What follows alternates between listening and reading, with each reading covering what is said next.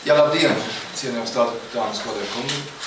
Šis nav tāds parāds biznesa projekts, ko būtu Baltika būtu iesaistījusies. Es jums pastāstīšu, kāpēc šī kompānija tika dibināta un kas ir kompānijas mērķis. Gada sākumā es braucu no satiksmes ministrijas vienā dienā ar taksi uz ministra kabinetu. Iekāpu pie satiksmes ministrijas vecā nolaista mašīnā. Pie ministra kabineta kā skaitītājs nav ieslēgts. Es taksistam piedāvāju trīs latu par šo īsu braucienu.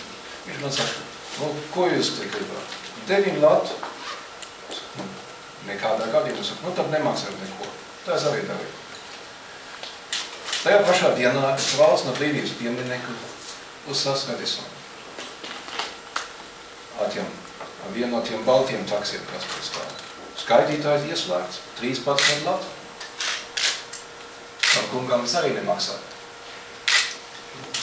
Nākamā dienā es braucu no Rīgas lidostas. Ar slavu Mercedes taksi. Līdz centram. 26 lati pēc skaitītāja. Arī tādā gadījumā es teicu, ko es par to domāju. Un uh, šofērs bija ļoti tāds, tāds pieklājīgs, viņš teica, nu ko lai es te daru, maksājiet, cik jums liekas pareizi. Rakstīju vēstuli Rīgas domē, satiksmes departamentam, rakstīju citas vēstules. Un saņem garas atbildes. Uz divām, trijām lapusiem. Kāpēc? Neko nevar darīt. Lai mēs brīdinām savus pasažierus par krāpniecības risku.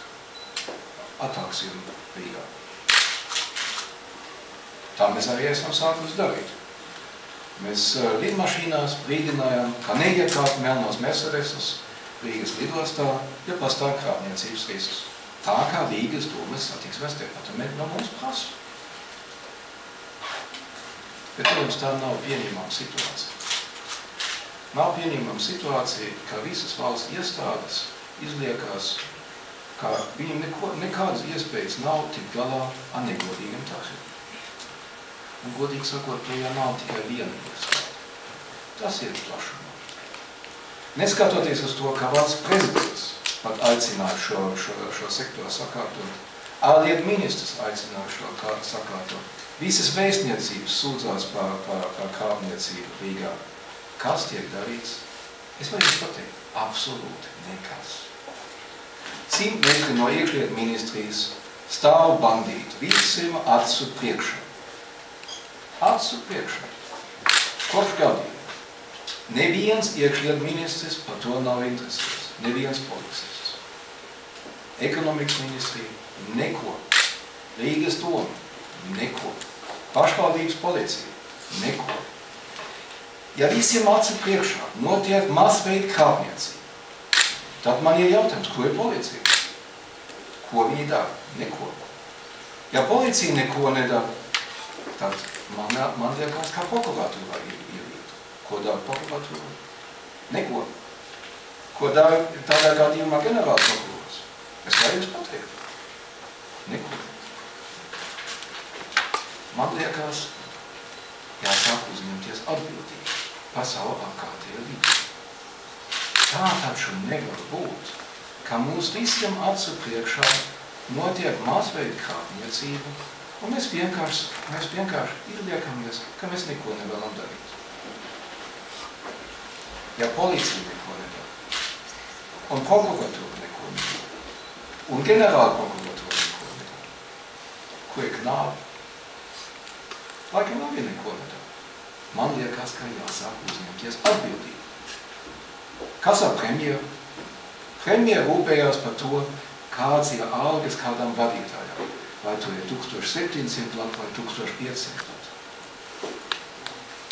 Godīgi sakot, kādas tev bija?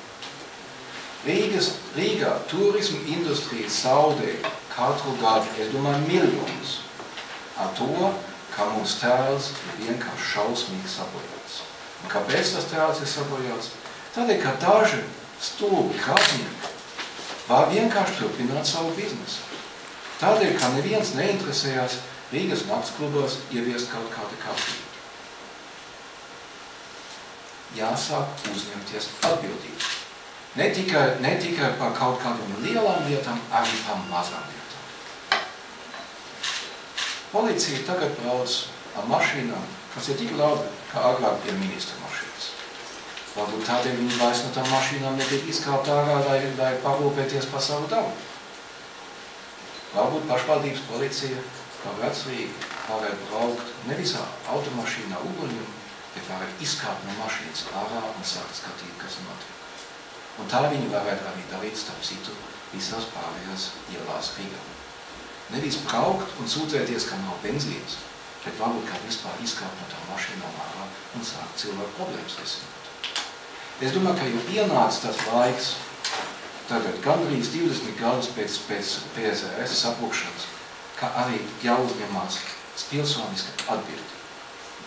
Tādā ziņā šis projekts nav tas pārāstās biznesa Un primārais mērķis takšu kompānijas dibināšanai ir, kā mēs gribam izbeigt šo krāpniecīsku biznesu Rīgas lidostā un vispār centrā.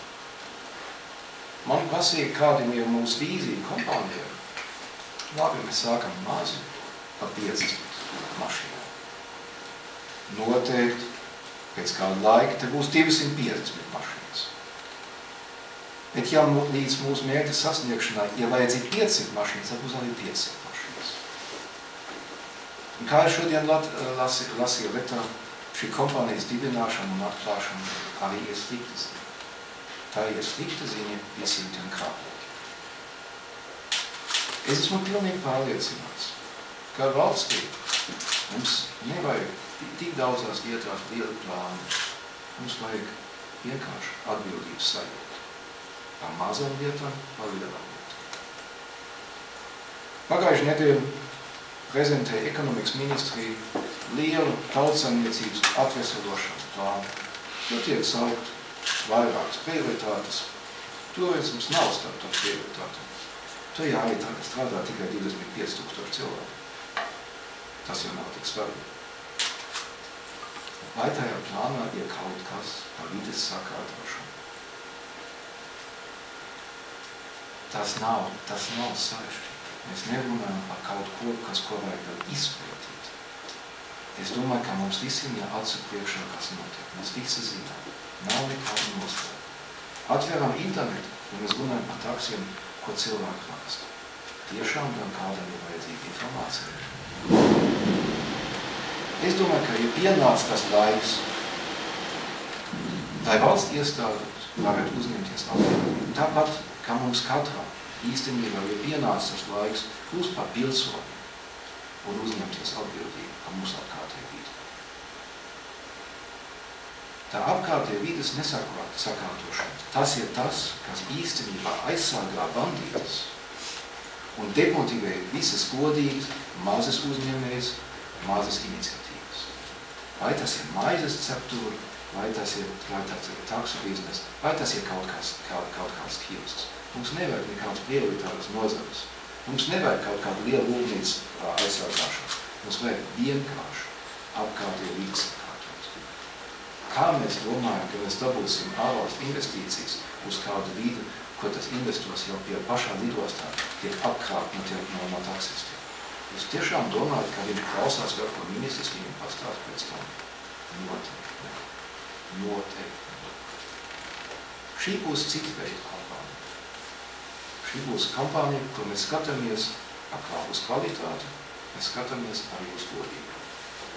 Un mēs to gribam apliecināt. Arī ar vienkārši ar to, kā tā kampānija izskatās, kā uzvedas.